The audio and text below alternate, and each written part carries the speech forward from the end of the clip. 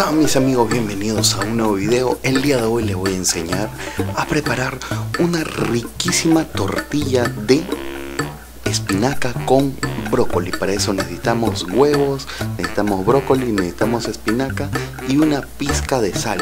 Ahora vamos a comenzar con la preparación.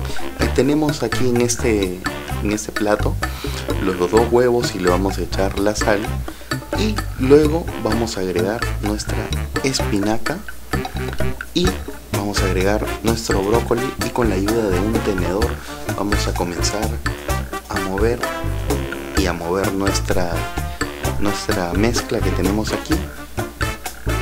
Así con calma nada más no hay no hay mucho que, que hacer en realidad.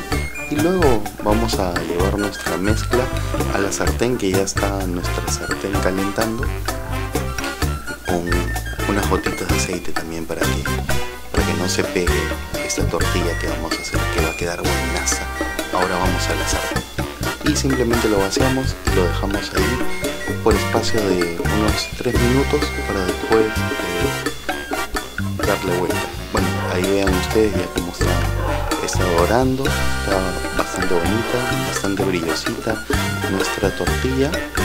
Ya en breve lo vamos a, le vamos a dar vuelta para que vean cómo va quedando hacia el otro lado.